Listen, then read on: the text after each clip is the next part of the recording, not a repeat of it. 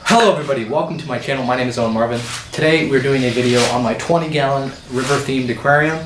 Uh, this is not what I normally do on my channel, but it's going to be very fun. Uh, so watch to see what my tank setup is like.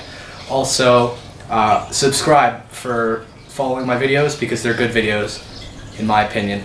Um, let's let's jump right into it. So here is the tank. So you can see we've got a log there that's hollowed out. Fish can go in there. A plant there. Some tubing here. The fish go in. And then we got a flower pot right there with a plant coming out of it. All right, so we just got a new fish to go in the tank here. Burbot.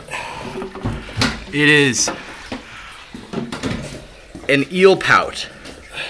That's so sick. He's definitely gonna eat our minnows. How big is his mouth? Let me see. Oh, he may be oh good. my lord. That's so sick. I'll get back to you. That was just the initial release into the tank. There's a good view of him. All right, just, we'll see. hopefully he doesn't die instantly, uh, and we'll see what happens. All right, we just came out to film, and uh, he was he was in this log eating Look how much eating the stirred minnows. up. I don't think he's stuck. I think he's got a minnow in his mouth. He's trying to swallow. Maybe he is st- stuck in there. I'm sure they're friends. Okay, they're okay. Okay. Oh god. Yeah. Is he eating them? I don't know. He doesn't have teeth, so So my conclusion here is that I think he's trying to hide in there. I don't think he's trying to eat him. friends. He looks happy under that plant. Why is he smiling or what? All right, so we rearranged the tank slightly right away. Uh, I switched the plants that would be in the flower pot. There's a minnow in there now. I think they like it a little bit better now that that plant's in there. It doesn't feel so open. I would move the tubes a little bit. The eelpout has claimed, excuse me, and Shaquilo Eel has claimed this log as his spot. He doesn't really fit in there, but he likes it, so that's where he's going to be. Um, and he definitely ate a minnow. We saw a shape in his in his gut that looked like a minnow, and then we uh, counted the minnows. There are seven. There used to be eight. So hopefully he doesn't eat them all very fast. I kind of like the minnows.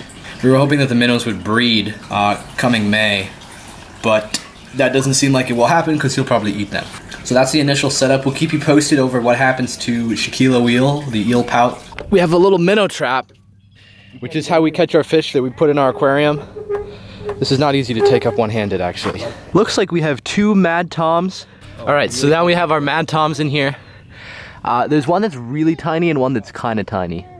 Are they different or this? They look different, but maybe it's just because one's really fat. Should we go put them both in water and decide which one we want? We have fishies, Mary Kate. You see them? Oh, dude. They are cute. They're little catfish. There we go. Slide these dudes down into the cup. Wow. They're so yellow. So a little bit of information about these. They're called tadpole madtoms uh, because they look like tadpoles a little bit. Uh, maybe you can see that. Uh, they are catfish species. Uh, they live in like fresh water, obviously, and they're really tiny. So like their max length is probably like five inches. Uh, the one one of these guys is a lot smaller than the other one. We had one last summer that we kept as a pet, and that one was probably five inches. Is it possible this one could be spawning? Yeah, I think that's what this is. Honestly, these two could be. The bigger one is a female. Well, I know. I noticed and that the smaller one is the, a male. The one has a red mark on his fin, Yeah, yeah. I've and they that. typically get that. Bass, I know, get that on their tail. When they So like I'm thinking this smaller guy here with the red on his fins is the male, and this one's probably a female. If we keep both of them, they could Then- make babies. All right right, so these guys are going in the tank now, and then we'll give you a little bit of a tank tour after this because this is cool. there they go. There they go. So one thing I'm kind of concerned about is having enough hiding places for everything in the tank, because all of these fish like to hide.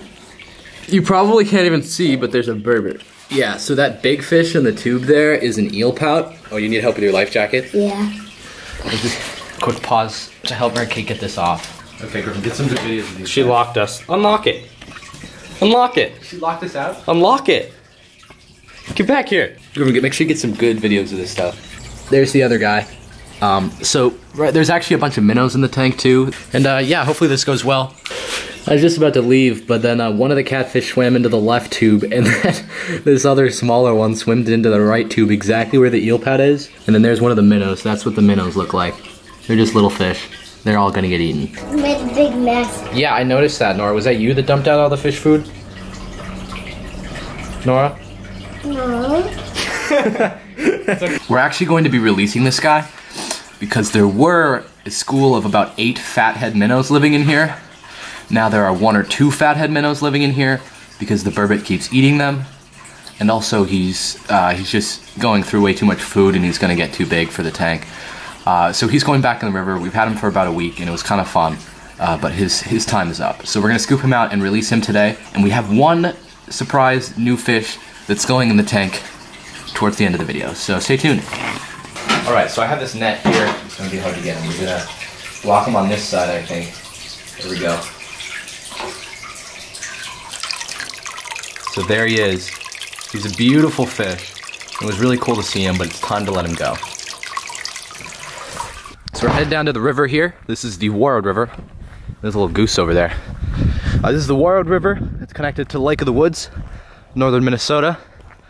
Uh, river's really murky, really dark water. Good for fish like this that eat junk off the bottom and pretty much only go around at night. We caught him in our little minnow trap right there. Yeah, we're gonna let this dude go. Goodbye, my friend. And he'll grow up to be very big. Burbot actually get to be up to like three feet long and weigh, I don't know what they weigh, probably 10 to 15 pounds at their max. Uh, so that guy's, he's got a lot, a lot of years left in him. I really don't know how I'm going to get this tank cleaned because that burbot made such a mess in there. I think I'm gonna try to clean out the filter. I've got new cartridges in the mail, I think. Um, we're gonna do a probably a 50% water change. All right, last gallon of water to refill the tank.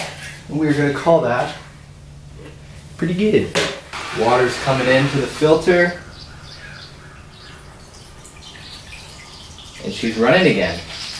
Hopefully it clears up the water quick because this is uh, pretty gross, not gonna lie. Yeah, but here's a fresh filter cartridge I'm gonna pop that guy right in here. All right, I'm back after a couple hours and the water's looking much clearer than it was. Uh, we got the, the log there, all the fish are in there. Both, both catfish, all three minnows. I discovered that there are three minnows still alive. I thought there was only one or two, uh, so that's good. And now we're going to introduce you to our newest member of the tank. This is him. It is a baby, baby rock bass, and he is so tiny. He's so cute. So we're gonna put him in the tank now. There he is in. Uh, he is a baby, so I do have some concerns about him adapting to the new water. There he is, chilling on the log there. And the three minnows and the two catfish are inside. And yeah, tank's looking really nice. Uh, check out my channel. There's all kinds of uh, vlogs and other types of things on there uh, that I would definitely recommend checking out. I think they're kind of good. Obviously, I might be a little bit biased, uh, but definitely check them out. Uh, make sure you're subscribed and hit the like button for this video. Uh, also, leave some comments, and I will see you guys in the next video, hopefully. Goodbye.